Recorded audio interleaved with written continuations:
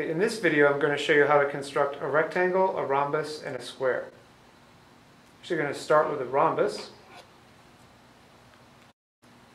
I'm going to make one vertex just by drawing a point.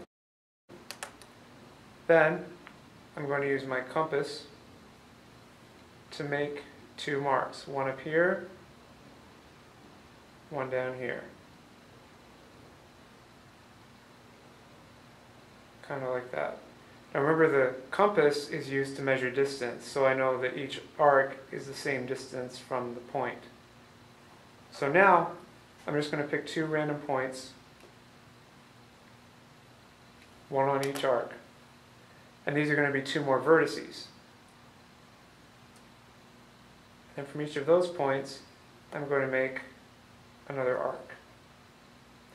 Now this arc because I didn't adjust the compass settings, is the same distance away as these other two points. So this intersection is my fourth vertex. So all of these distances between the points are the same because it's the same compass measure. So that means when I draw all of these,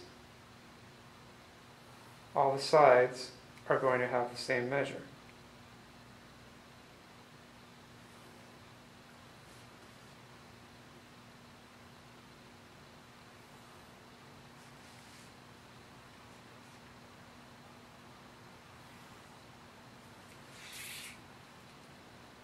I'll just label the points A,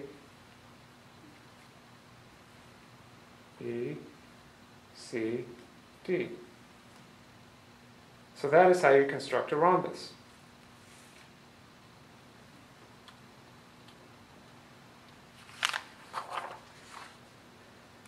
Now constructing a rectangle is going to involve making a circle. So I'm going to draw my center point, and then I will construct my circle.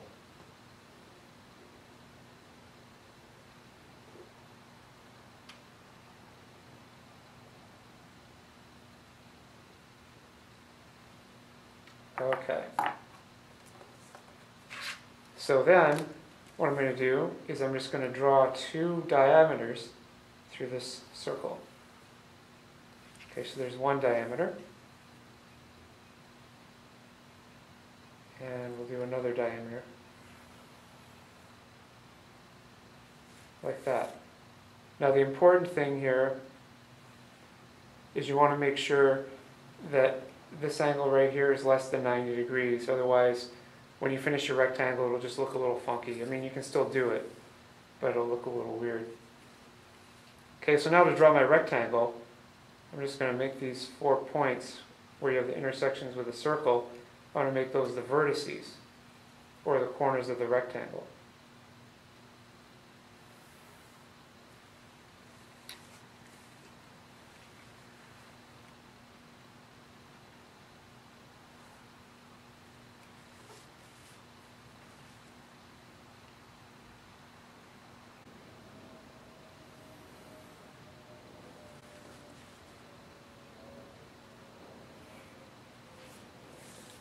Okay, so I'm going to label A, B, C, D. Now why is this a rectangle? Now first of all, let's look at the diagonals. That's the key. Notice that I drew two diameters for the diagonals. And that also means that each of these guys, half the diagonal is a radius for the circle. And that means the diagonals bisect each other. That means you have a parallelogram. Also, these diagonals are congruent, and a rectangle is a parallelogram with congruent diagonals.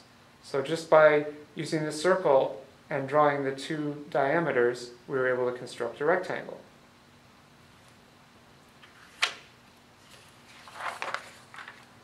Constructing a square is a similar process as constructing a rectangle, but slightly different. I'm going to start by drawing a center point and then a circle around it.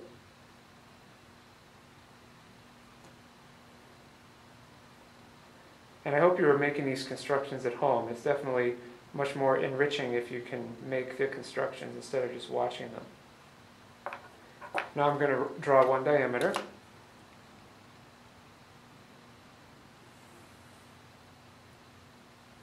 Okay. Now what I'm going to do is I'm going to do the perpendicular bisector of this diameter.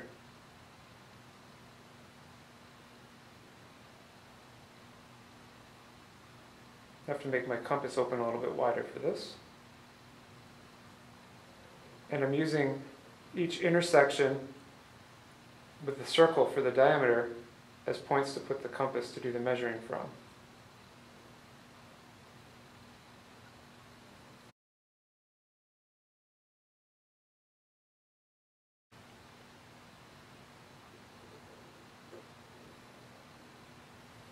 There we go.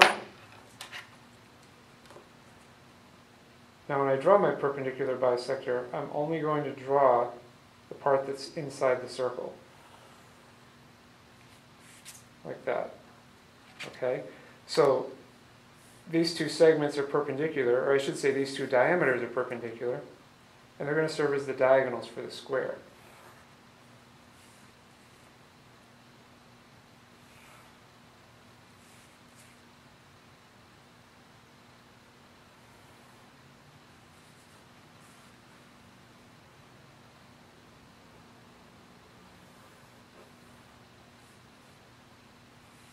Okay.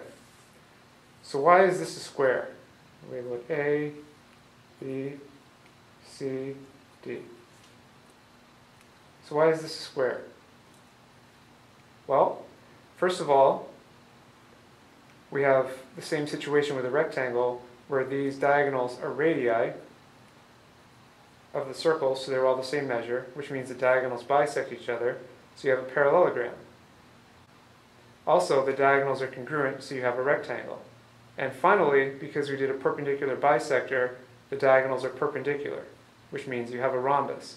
And you, if you have a rectangle and a rhombus in the same shape, all those properties combine and you have a square. So the diagonals bisect each other, they are congruent and perpendicular.